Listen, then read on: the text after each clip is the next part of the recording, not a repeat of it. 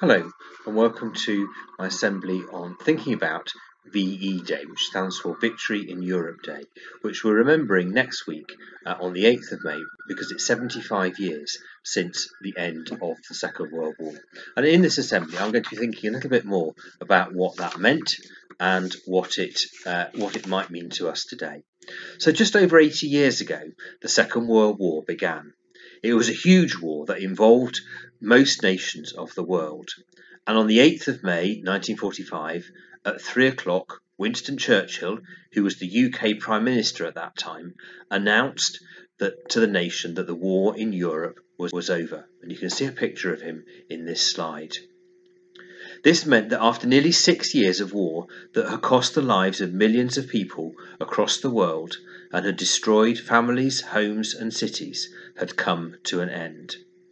And millions of people rejoiced that the war was over and they were relieved from, from the intense strain of war.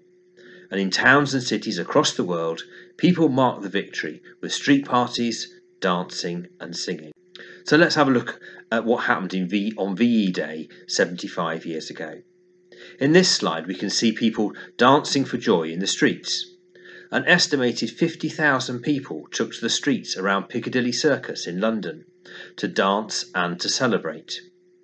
The joy of the day broke down normal social conventions, and people spoke to and hugged people that they'd never met before. Music was provided by gramophones, accordions, and barrel organs, and revellers sang and danced to the popular tunes of the day. In the next picture, we can see some young people celebrating by wading into the fountain of Trafalgar Square. And I guess on a special day like that, nobody really minded that they were breaking all the normal rules about what you could do in the centre of London. And here's another picture of some people giving the sign for victory that Winston Churchill had used throughout the war as a way of encouraging people when he spoke to them in towns and cities that had been badly affected by bombing and by all sorts of other things that had happened during the six years of the war. So here is a picture of Winston Churchill himself, the UK Prime Minister, waving to a huge crowd because earlier on that day he had announced on the radio that the war in Europe was finally over.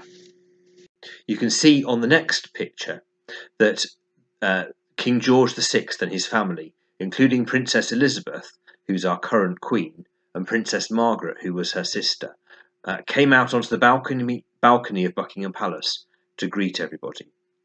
Princess Elizabeth and her sister were allowed to leave the palace to celebrate with the crowds outside, although they had to do it secretly. The future queen described it as one of the most memorable nights of her life. And many people attended church services to thank God for the victory, and throughout the country, church bell, bells rang to signal the end of the fighting. After years of wartime restrictions and dangers, including food and clothes rationing, nightly blackouts and bombing raids, people were understandably eager to let loose and finally enjoy themselves. But we can see from the next picture that not everyone felt like celebrating on VE Day. The hardship of the war years had taken their toll on many people, leaving them with little energy for rejoicing. And for many, the celebrations were seen tinged with sadness. These two girls waving flags stand on the rubble of a bombed out building. For those who'd lost loved ones in the conflict, it was a time to reflect. And before they celebrated, many people went to churches and cathedrals to spend some time in prayer and to remember relatives who had been killed in the war.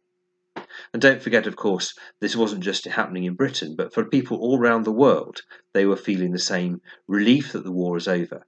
And in Germany itself, people were also relieved that the fighting had finally come to an end. After the celebrations had died down, time to rebuild the country.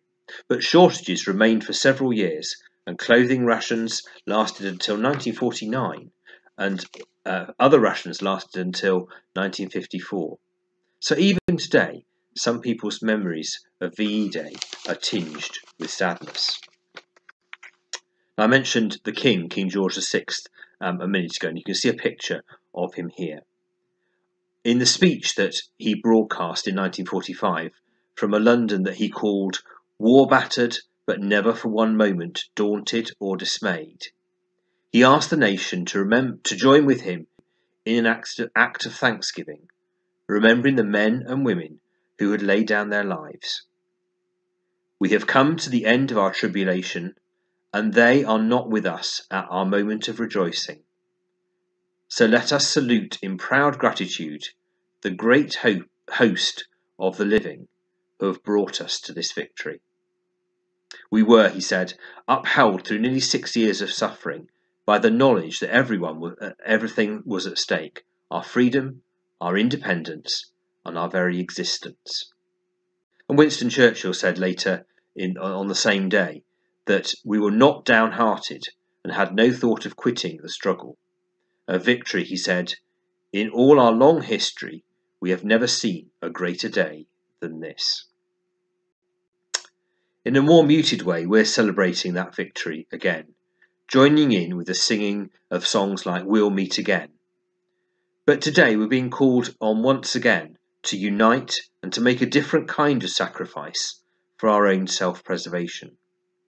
But May the 8th gives us a chance to pause in our isolation and remember the sacrifice of many generations and to celebrate, as they did, the end of a long war and the 75 years of peace in Europe that it brought us.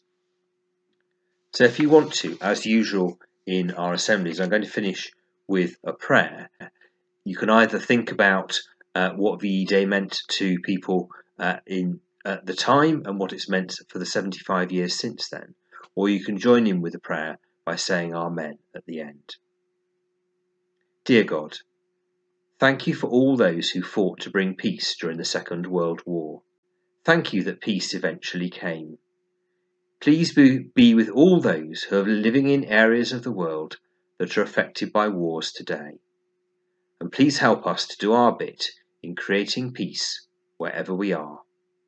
Amen.